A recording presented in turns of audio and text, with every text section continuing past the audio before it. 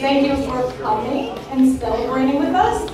And my kids and I know between the three of us how annoying I can be, but I'm very, very, very proud of both of you.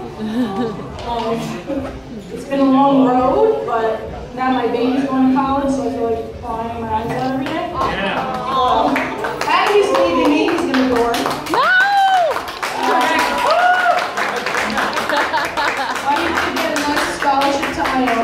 Iona, congratulations.